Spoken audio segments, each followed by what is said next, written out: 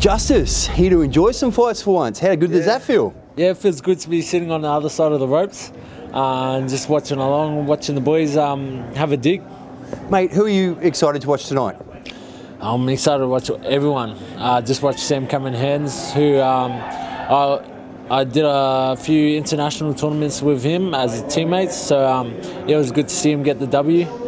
And um, yeah, pretty much all the other amateurs that um, came through the ranks and now pros, uh, Jack Bowen, Taylor Robinson. Yeah, pretty, I'm, I'm keen to see all of them have a go in there and then uh, yeah, showcase their abilities. They're all very talented boxers, so uh, they should be able to do a very good job and display a very good uh, boxing ability.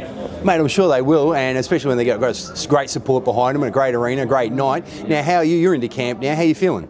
I'm feeling good, man. I'm just uh, done my first uh, sparring slash moving around, just getting getting the feel for everything again. Um, yeah, I did my first session this morning, and uh, I'm feeling good. I'm feeling sharp, fresh, and uh, yeah, I'll, I'll be keen to get back in the ring April 10th. Mate, there doesn't look like there's too much glove burn on you. How did it feel coming off the glove?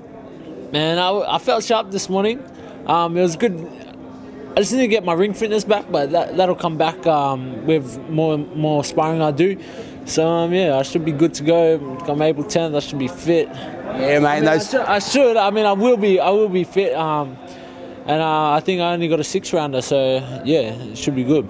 Mate, uh, we're, we're, hoping that it doesn't go the six rounds against Jake Maris uh, on this great card. But um, a, a, few more of these 27 minute runs at four in the morning with Dad. Yeah, man, I just got to put in the work and um, yeah, I'm, I'm loving it. I'm loving it again. Uh, you know, I, I, got to a stage where I was just like going through the motions and stuff.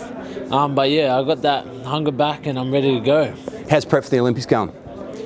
Um, yeah, this is all a part of it, so it's gone good. Uh, I'll be ready to go for the Olympics, um, no doubt. Hopefully, have uh, two more pro fights after this one, and um, yeah, I should be um, all the ring rush should be gone, and I should be able to ease through um, into the Olympics. Mate, wishing you safety and success. Get out there and have some fun as a spectator, eh? Thank you, Rob. Appreciate it.